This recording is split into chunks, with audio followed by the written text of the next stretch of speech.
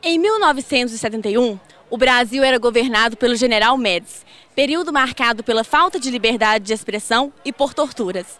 A economia vivia o milagre econômico e a cultura tentava se manifestar, no cinema por meio das pornochanchadas e na música com grupos secos e molhados.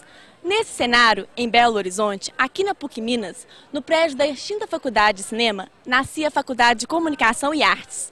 Criada para inserir a Igreja Católica Mineira no mundo moderno das comunicações, a faculdade também era um espaço político e pedagógico na luta contra a ditadura.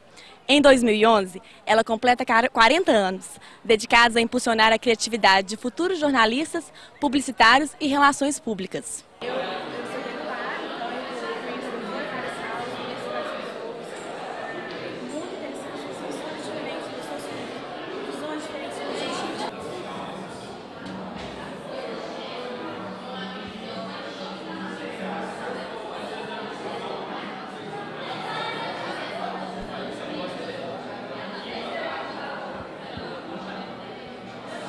Thaís, como que você entrou na Faculdade de Comunicação e Arte?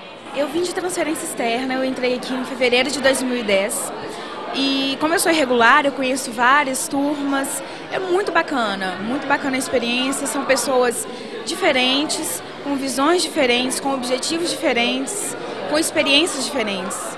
E como que é fazer parte do aniversário de 40 anos aqui da instituição? É um orgulho, porque é uma faculdade com, uh, de muita história, né? É uma universidade famosa também, que, que, tem nomes importantes, professores importantes e que permite que o aluno junte a, a, a, teoria com a prática, né? com os laboratórios, laboratório de rádio, informática. Então é muito bom. Me sinto muito feliz.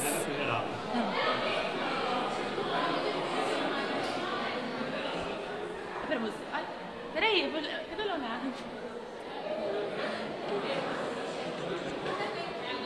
Qual é a importância do, do curso para você, do, do curso de, de, de, publicidade, né? Que você é estudante de publicidade.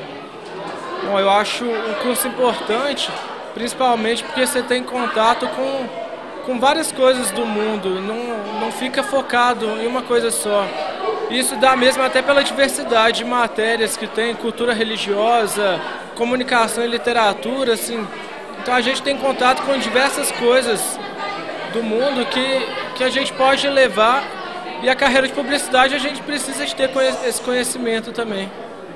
E por que, que você já é, por que, que você escolheu a faculdade de, de comunicação da PUC? Você já conhecia o curso? Já, já tinha alguma referência de, de, de qualidade? Já conhecia muito bem até. É, eu tive uma prima que formou aqui na faculdade de comunicação e ela falou que é o melhor curso que tem e é um dos cursos mais renomados do, do país. E foi muito recomendado, um tio meu que é jornalista me recomendou esse curso, que, que é, vale a, muito mais a pena do que muitos outros cursos de comunicação por aí. E o que, que você espera do curso, já que você está no, tá no início do curso, né? O que, que você espera para a sua formação acadêmica? Eu tenho boas expectativas, estou gostando muito do curso por enquanto, né? Mas eu estou gostando e, e, acho que vai ser muito legal, vai ser uma formação muito boa para minha vida.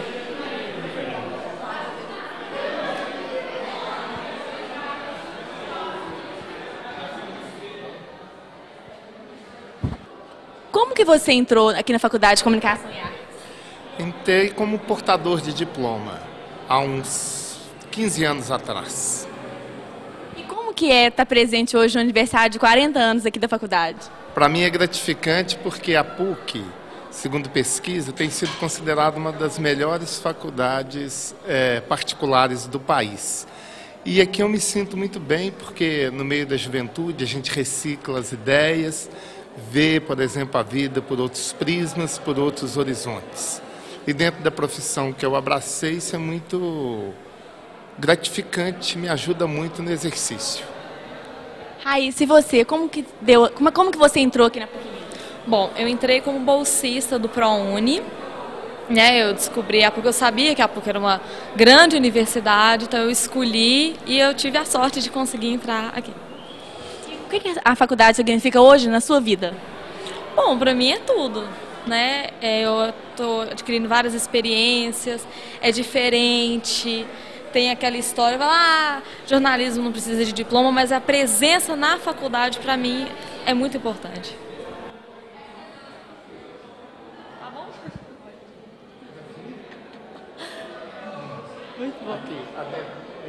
Com as inovações tecnológicas, a faculdade também se modernizou. Hoje, os alunos contam com laboratórios de vídeo, rádio, fotografia, informática e centro de pesquisa, para que possam desenvolver suas ideias e aprimorar o aprendizado. Ivone, qual que é a sua história aqui com a Faculdade de Comunicação e Artes? Bom, eu a minha história começou desde 1974, quando eu entrei né, para o curso de comunicação. A partir daí, a minha vida se deu, profissional se deu toda aqui, porque logo depois que eu me formei, eu comecei a dar aula. Naquela época a gente saía do, da graduação e dava aula. Então eu comecei a dar aula, a partir daí eu co coordenei o curso de Relações Públicas e fui vice-chefe de departamento e acabei percorrendo né, esse caminho aí da, da, da, gestão administrativa até ser em 2011, 2001 a diretora da Faculdade de Comunicação e Arte quando foi retomada essa ideia de faculdade, porque é, desde, 2000, desde 1979 que ela se transformou em departamento, deixou de ser faculdade para ser departamento. Então, é a minha história de vida profissional né, e, é, é, se deu aqui na PUC. Nesse intervalo, nesse meio aí, eu fiquei quatro anos na Federal. Eu fiz concurso na Federal, Passei, fui para lá, fiquei quatro anos, mas eu preferi voltar para cá. Eu acho que aqui é um espaço mais de, de, de, convivência mais, mais tranquilo do que eu senti na Federal. Sim. E como é fazer parte dos 40 anos da faculdade? Ah, é, é uma é um sentimento de muita orgulho, né? Porque eu acho que, que essa faculdade ela tem uma representatividade nacional muito grande, né? Ela é respeitada é, tanto nacionalmente aqui no Brasil, aqui em Belo Horizonte especificamente, como fora. Né? Eu acho que isso é, foi construído, construído pela, é, desde a primeira pessoa que criou a faculdade, que foi o professor Lélio Fabiano, até hoje, é, dos alunos, professores e funcionários que estão aqui. Então, é, eu acho que é uma, uma felicidade, sabe? É, uma, é um orgulho, é, eu me sinto muito feliz de pertencer à Faculdade de Comunicação e Artes da PUC Minas.